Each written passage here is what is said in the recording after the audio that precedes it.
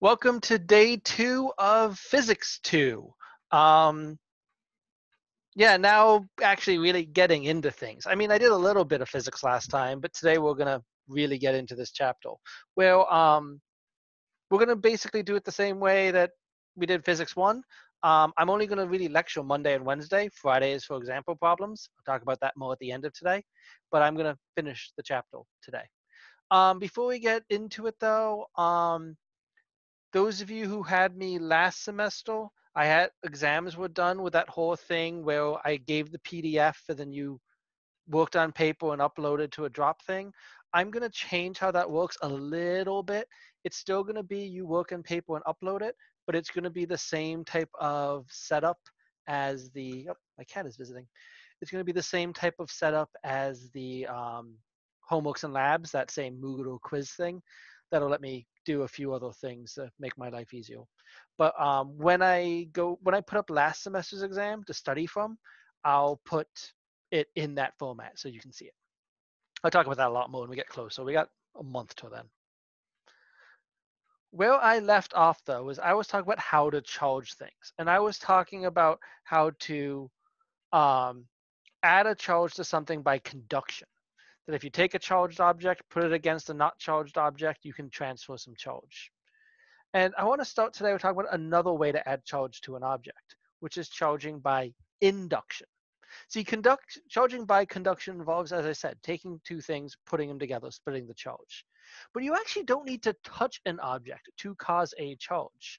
Um, if I open up the video of the electrograph that I was doing, electroscope, I mean, you can see that as I get close, that gold flake moves a little bit. It's not a lot, but just moves a little bit. And then I touched it. Um, the reason why is if you bring a charged object near a non-charged, especially a conductor, what happens is the charges inside of it will move around. That if I bring a negatively charged rod near a uniformly charged field, like in point B, all of the electrons are going to try to move as far away as possible. If you then touch the sphere and ground it, the charge rod you brought close will chase them all away. And you can then go and remove the ground and remove the thing that is doing the charging by induction and leave a charge. That you can actually cause something to become charged just by bringing a charge object close enough to it, grounding, and then removing your hand. It's kind of a neat idea. Um, you could also have objects act as if they are charged without having a charge. Uh, this is called polarization, especially polarization of charge. I talked about the balloon, and I was like rubbing against my shoe and trying to stick it to myself last class. Um, instead, I'm just going to do it in a video again, and my mouse disappeared. There we go. Um, that if I take this balloon doesn't normally stick, but if I rub it up against my shirt and put it to the whiteboard, it'll stay stuck to it. Oh, not very well. Should probably look at the videos before I decide to use them again. There we go. It sticks to it. There was not originally any charge on the whiteboard. The whiteboard is not a charged object. But by add, by giving the balloon a static charge, I can get it to stick as if it was a charged object. The reason for this is the same as the reason for the charging by induction um, if you bring a charged object near the whiteboard in that case, it'll move around the charges inside of it. And when they move around, what's going to happen is that the like charges are going to go further away. The the charges that are not the same are going to get closer to the edge. And that's going to cause it to have a strong attractive force holding it in place. Okay? Now, it's interesting to say that the, if the total charge is zero, that it still would get attracted like that. Excuse me. Not used to talking this much. It's weird to say that if the total charge is zero, it still get attracted. But the reason why is that the closer charges will apply a more larger attractive force than the further away charges. What this means is that the closer charged objects are together, the stronger the force. And this is actually can be quantized, because yep, time to get into the math with something called Coulomb's law. Coulomb's law says the force between any two charged particles. It is a vector, because it's a force.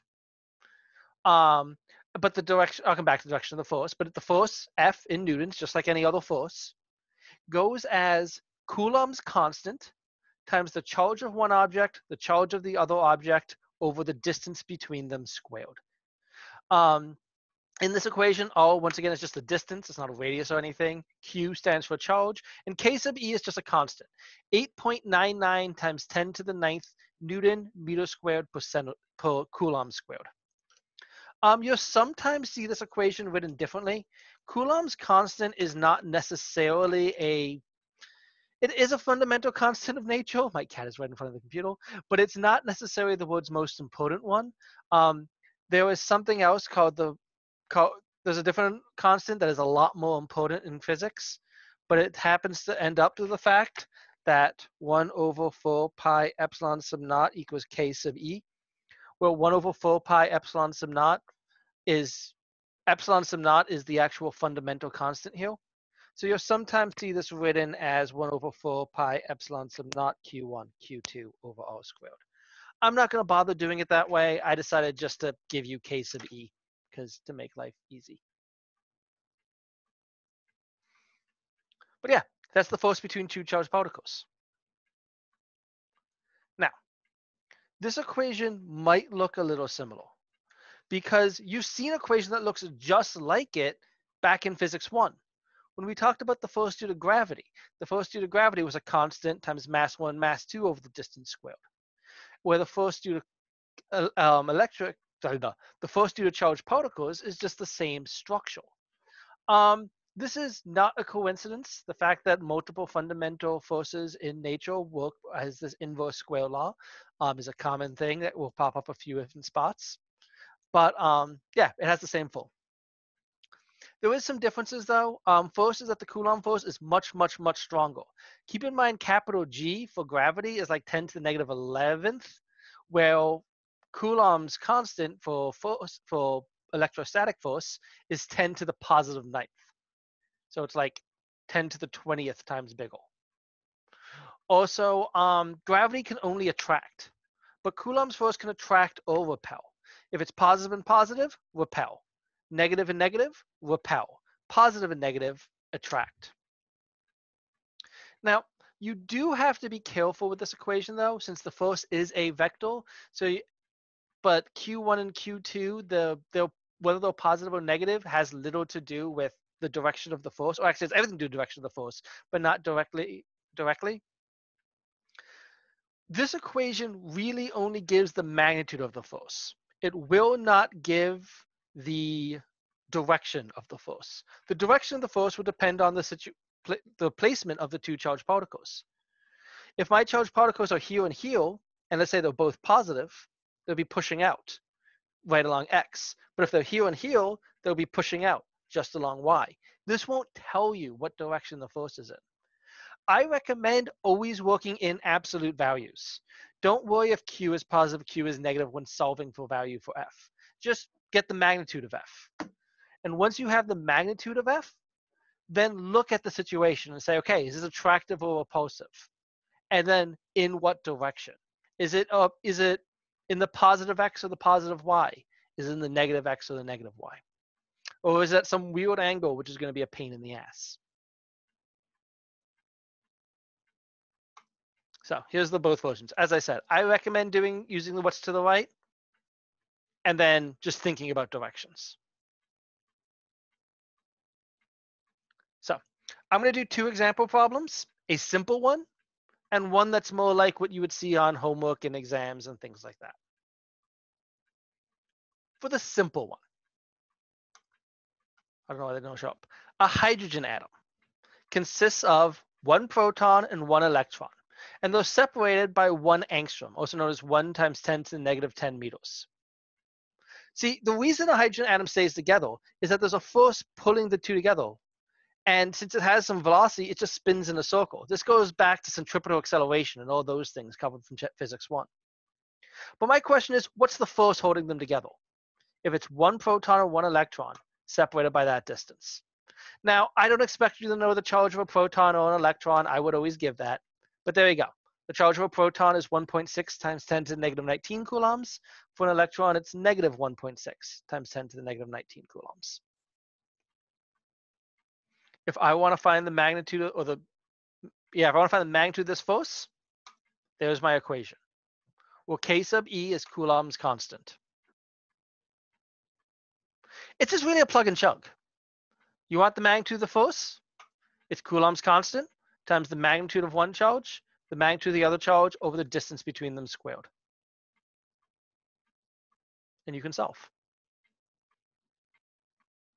Now, I know looking at this that that doesn't give me anything in direction, but I can see it's a positive and negative, so it must be an attractive force. And there it is.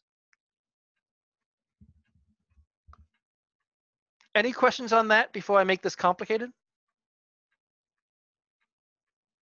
So would both a positive and a positive or a negative and a negative result in a repulsive? Yep, exactly. All right.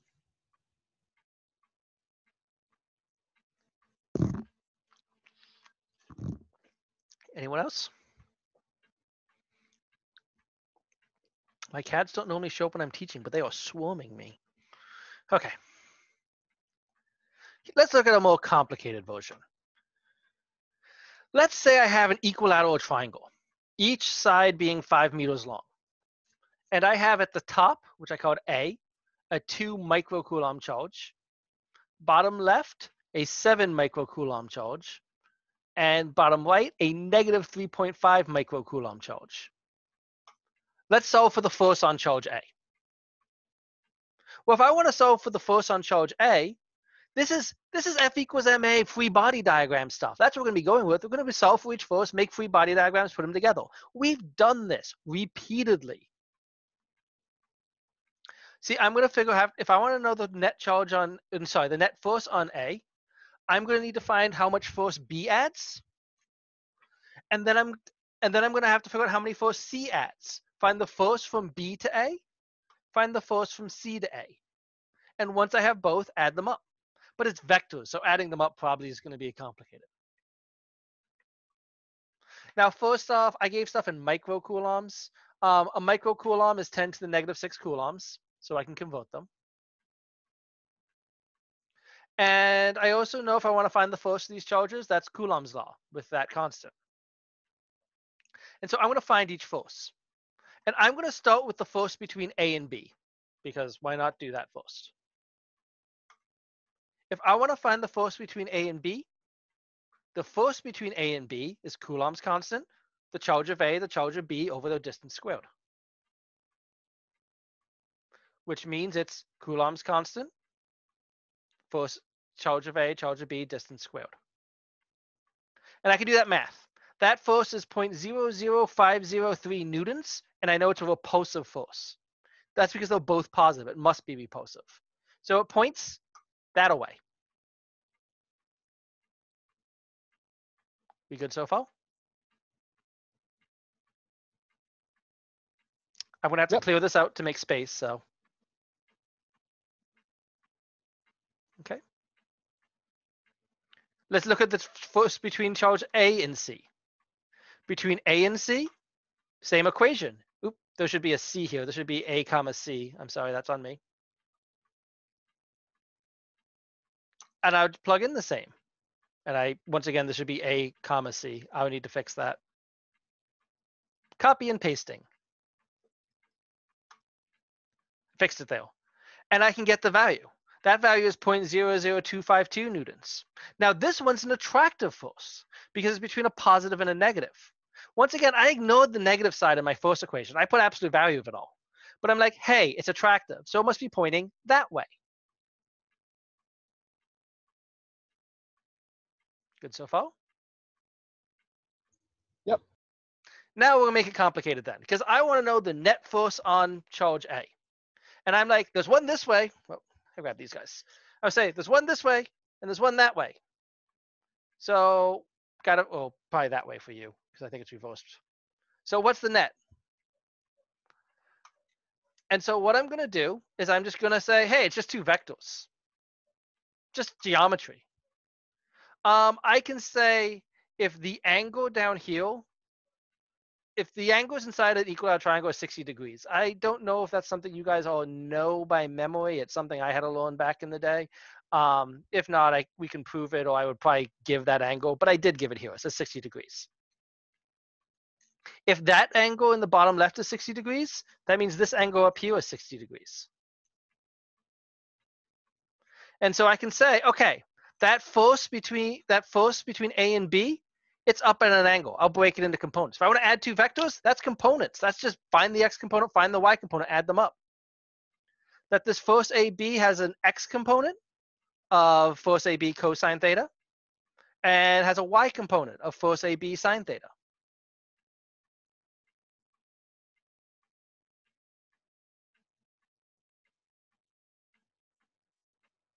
I can say for AC, that's also at 60 degrees, just 60 degrees down. Which, there you go. They show up in the order. So I can find the magnitude of each one of those too. And I can say, okay, that's the magnitude of each of these four vectors.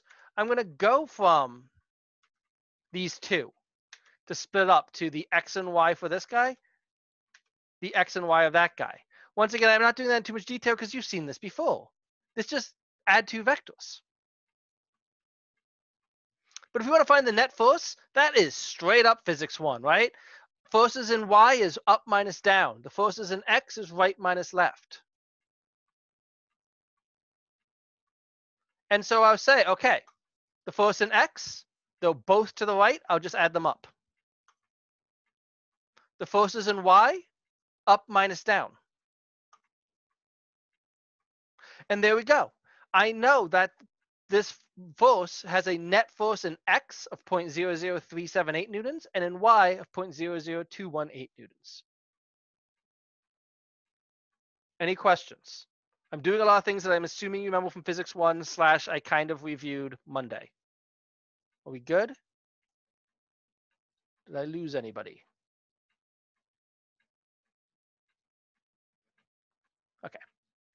Well, if we have the x and y,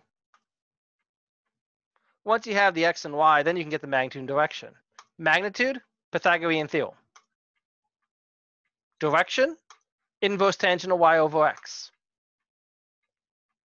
And there we go. That would be the net force on vector, oh, sorry, on charge A. It would be 0.00436 newtons at 30 degrees.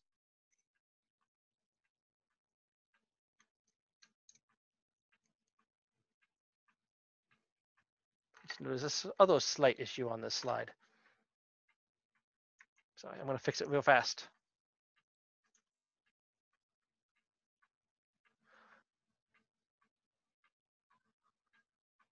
Any questions?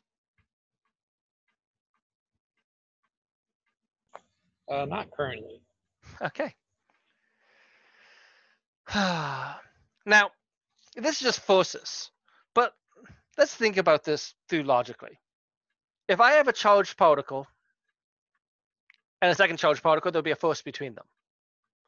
But if I start changing out the second charged particle, basically I make one set charged particle set in a place and start moving around the second one.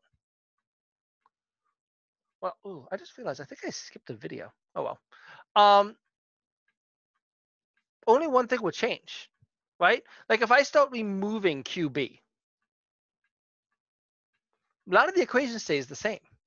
And for this reason, we often refer to things by their electric fields. Anytime you have a charged particle, it has what is called an electric field. It's invisible. Oops. It's invisible. You can't see it, but it can be felt like gravity. The fact that you're always being pulled down to Earth, that's Earth's gravitational field. But likewise, everything has an electric field. And if you bring another charge close to it, it'll get either pulled away or pushed towards it if it interacts with the field. And traditionally, the field is drawn with direction, either pointing out or pointing in. Now, the convection, convention, sorry, is that you, field goes away from a positive charge towards a negative charge. This goes back to the whole Benjamin Franklin had it wrong thing. If this was backwards, if it was oh, towards a negative charge and away from a positive charge, a lot of the math would come out easier. But we can just define everything as having an electric field. based off the charge. Now, electric field uses the symbol E and has units of newtons per coulomb. Um, fixing those parentheses. Now, pretty sure I have a video for this. Let me check, since I skipped the Van de Graaff balloon lines. What I have here is two charged plates. Well, right now they're not really charged, but I have two plates. And what I'm doing is I'm putting a current through them. As I do that, you can see these little metal shavings in here are starting to form lines coming across.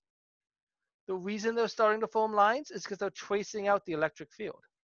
And that when I create something with a positive side and negative side, you can actually, if you put metal in, see the electric field in practice. All that is is this idea that it points towards or away.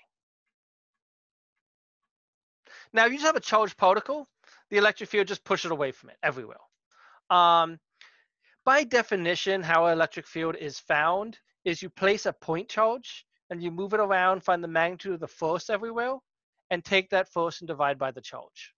That's how it's done by definition. You can map out the electric field by just moving that force around and measuring its forces.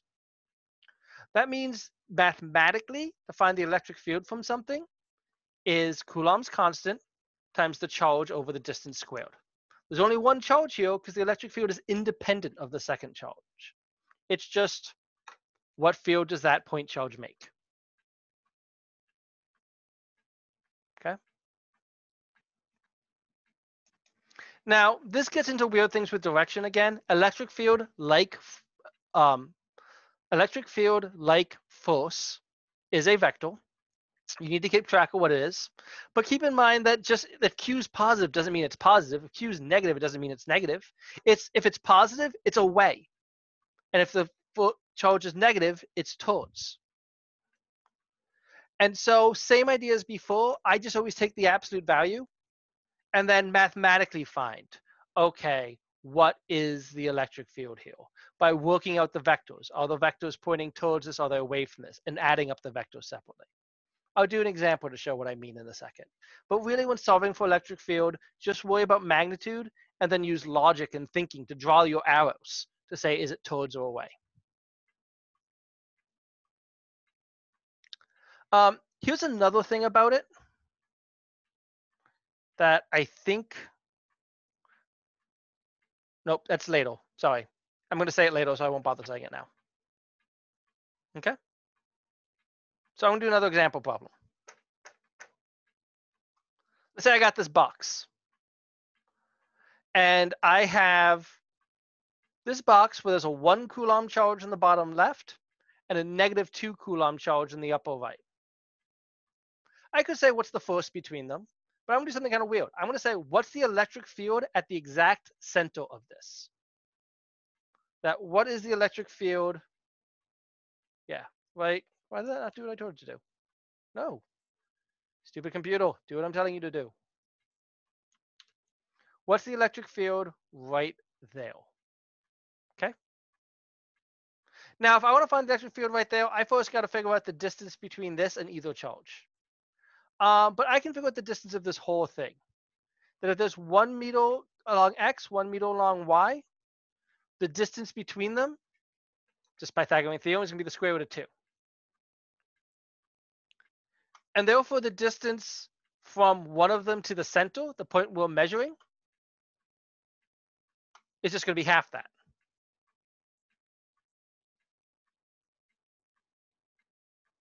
So I want to get the electric field. The electric field from each charge separately is KQ over O. Now, note this equation is just the electric field of a charge. And I'm saying, what's the electric field from both of these charges? I have this one Coulomb charge, I got this negative two Coulomb charge. What's the electric field? But it's not saying, hey, I got two charges. What are we doing? If you have a more complex situation, like so, what you're going to want to do is find the electric field from each and then add them up. What is the electric field from the one Coulomb charge and what direction is it in? What is the electric field from the negative two Coulomb charge and what direction is it in? And then vector add them together. You see, I can say for the one Coulomb charge, the electric field Coulomb's constant, one Coulomb over that distance squared. So it's 8.99 times 10 to the ninth times 1 divided by the square root of 2 over 2 squared. But the square root of 2 over 2 squared is, is a half. And so the electric field there is 1.8 times 10 to the 10th newtons per coulomb. Now, this was a positive charge. And anytime you have a positive charge, the electric field pushes away from it. So I can say that electric field pushes that way.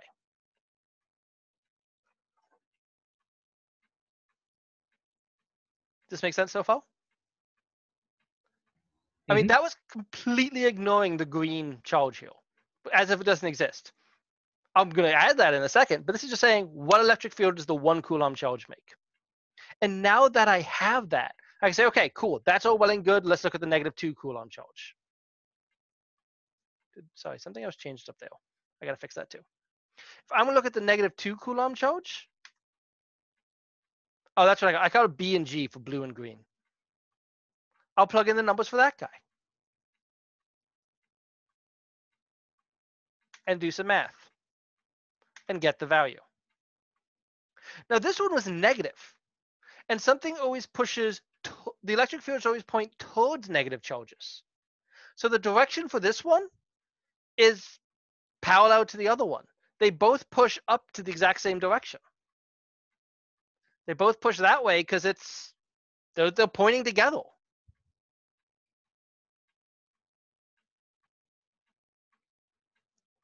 And so what I can say is, okay, the direction, it's that way for both. Now, vector addition is really easy when all the vectors point in the same direction, right? I can say these are the two vectors, but it'd be like, you know, instead of all finding the x component, finding all the y component, they're all in the same direction. So I'm just going to add them together. And I'm just going to say, cool, it's that one plus that one. Why break the components? And I'll say the electric field is 5.4 times 10 to the 10th Newton per coulombs. And I should include the direction, it's at a 45 degree angle. I know it's at a 45 degree angle because it's going along this piece bisecting our cube.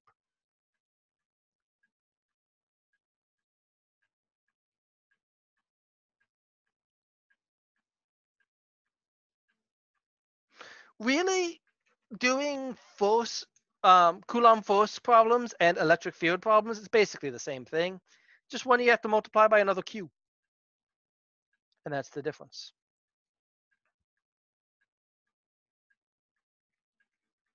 Side note, we're probably going to end early today now that I look at this. Oh, I am apparently going fast. I need to slow down. Um, yeah, I just got a question in the chat. Could we break it down from an a- from an angle? Yeah, we could. We could have gone and found the x component of each one, the y component of each other, each one, added them up and gone back. Um, I instead of doing that, just said, hey, instead of our normal coordinate system, let's use that coordinate system. Um, and just push them in the same direction. I mean, I know that's going up at a 45 degree angle just because once again, we're splitting a square in half. But yeah, you could.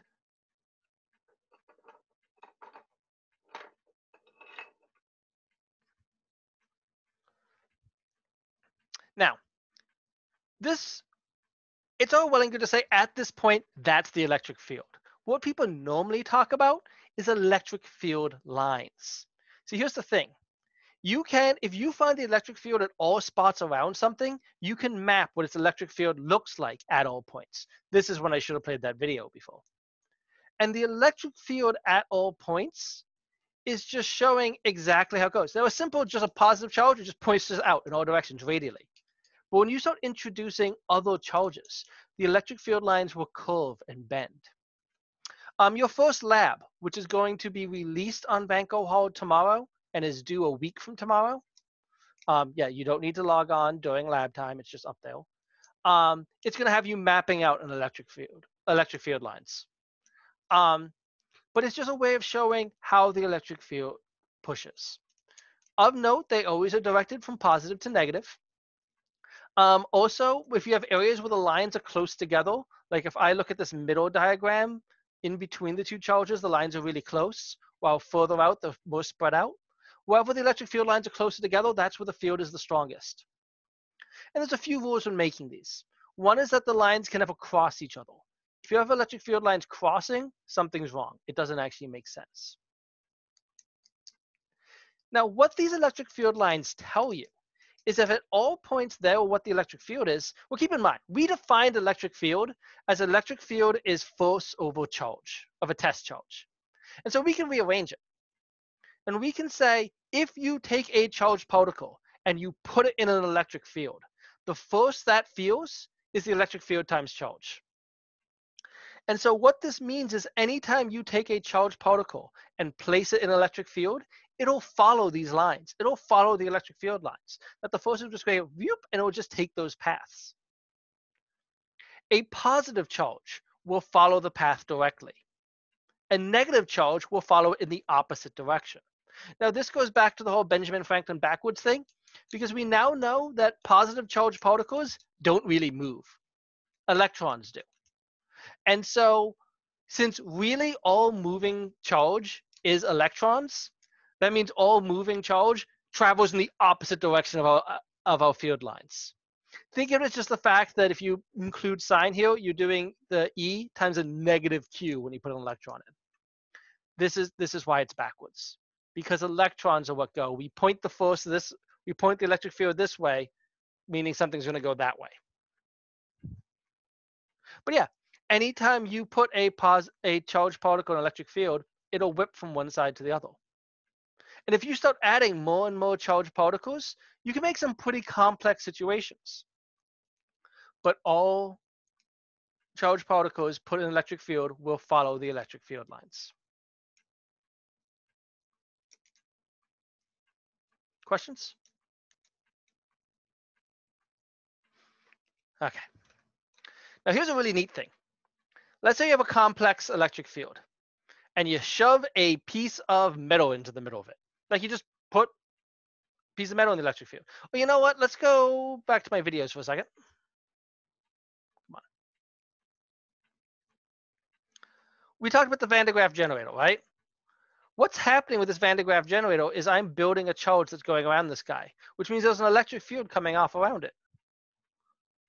But we didn't really talk about if there's an electric field coming out around it, what's happening inside of it hasn't really been mentioned right? There's charge on the outside, but what's happening in the actual metal?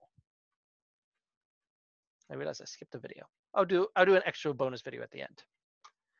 Anytime you um as long as there's no motion of charge. Well, let's phrase that. If there is no motion of charge, if the charge isn't moving, something's in electrostatic equilibrium. But if you take a conductor and if you put a conductor in a electric field, what will happen is the charges inside of it will move right at the get-go. And they'll push as far as they can in the conductor along the electric field lines as they can. They'll do this because the charges can move freely.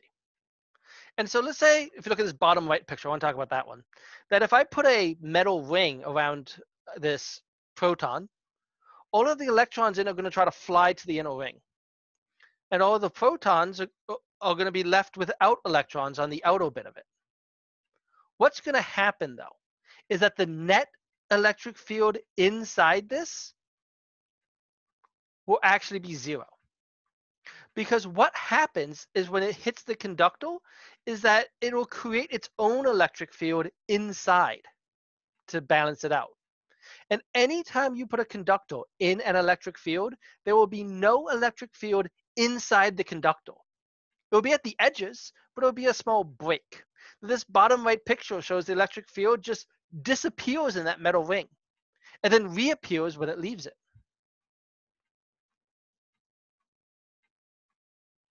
And all of the charge will be entirely on the surface. This other picture, the upper right, shows there's a charged wheel-shaped piece of conductor. And the electric field lines are all leaving the outside but there's no electric field lines inside. And that's the same with my Van de Graaff generator, that there's no electric field inside that piece. It all is right on the very edge going out. Now, to explain this, let's say an electric field like that. And I put a piece of conductor in that looks like this. What happens is that once again, because the charges move inside, inside that conductor, it'll have its own electric field, its own electric field that balances. And here's the neat thing. Let's say I had a parallel electric field, something looking like um, this guy, where they're just parallel going across. And I put a conductor in. This will warp the electric field. And even though there's no electric field inside the conductor, it'll change the pattern of the electric field. You see, wherever electric field hits a conductor, it'll always hit it perpendicularly, that they will bend and warp. So they hit the surface of the metal perfectly perpendicular. And yes, no electric field is in the side of that metal, but it does change it. But this is the really cool thing. Because let's say that metal sphere was hollow, closer to that right-hand picture. If that metal sphere was hollow, there would still be no electric field inside of it. Because once again, due to conductor, the electric field would be moved around the very, very, very edge. And so if you have an electric field, and yet don't want there to be one in a spot, if you surround it in metal, what happens is that no electric field will go inside. It'll go around the edges. Now, there's a fancy name for this. It is called a Faraday cage. A Faraday cage is a way to protect something from electric shocks. So my GIF at the bottom is a drone wrapped with wire netting, um, getting zapped by lightning. And my other picture is someone getting zapped by lightning surrounded by metal. You don't actually have to fully surround it. All you have is have enough metal to wrap around it. But in a Faraday cage, no electric field will go in the middle. And this can shield something. This is a way to talk about electric shielding. And so if you have, if you're gonna have something putting up with a large charge, putting out a large amount of power, electric power, and you don't want it to be touched, you just put a cage around it and it won't be. Um, interesting, annoying fact on this. This house I'm in right now, I my house has aluminum siding.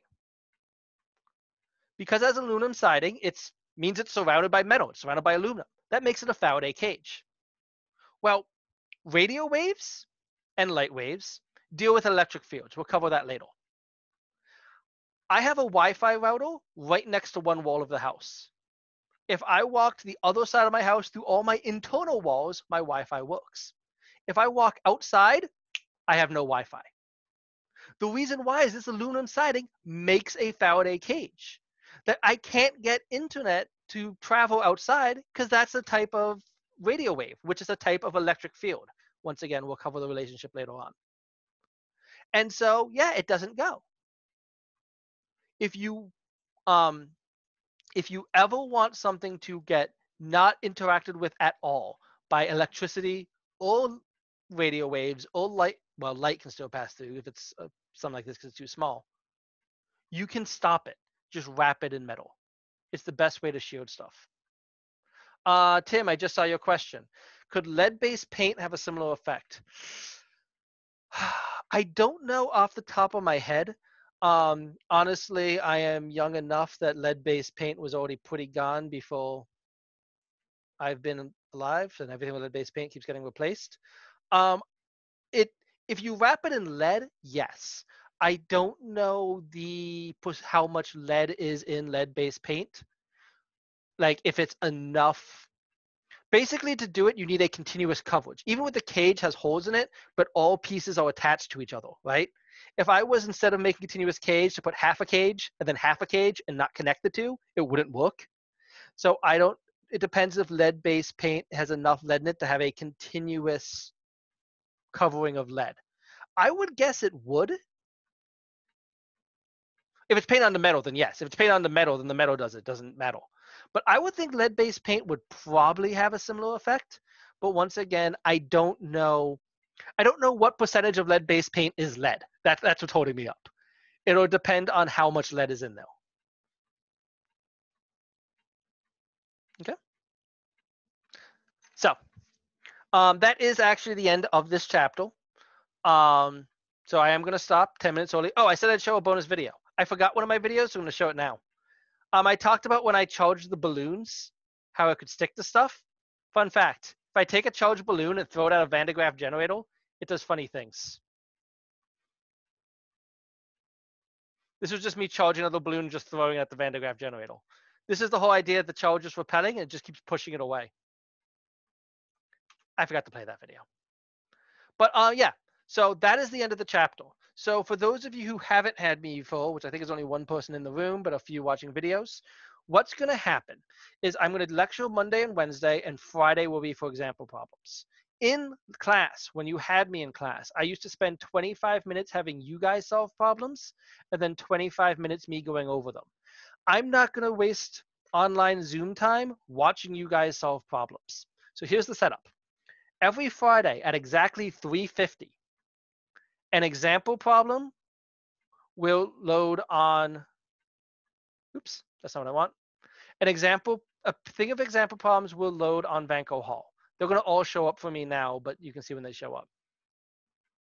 Um, so, yep, today, September 2nd at 3.50, hidden otherwise. And a problem will show up. I recommend between now and Friday, take a look at them. Try doing it. Just see if you can do it. It'll be similar to homework, similar to exams. And then Friday's class, I'm just going to go through and I'm going to solve those problems. When I solve them, I'll record them like usual, and I will now then go and um, post it on the video on YouTube and put the link we right there. Um, Paul, homework is open now. Homework is always open. You can access all the homework. Um, but yes, you've done everything you need for homework for chapter 20. So the first homework is due one week from today. I always finish chapters Wednesday. The homework will be due the following Wednesday. And so you can start homework chapter 20 whenever you want. I've covered everything you need for it. Um, but it's due a week from today. Any other questions? Nope, all set here. Okay. Well, I will stop there, let you off eight minutes early. Um, have a good day. And um, yeah, I'll talk to you guys later. I'm about to start office hours, but probably sign off for 10 minutes before them because I have extra 10 minutes. See you. All right.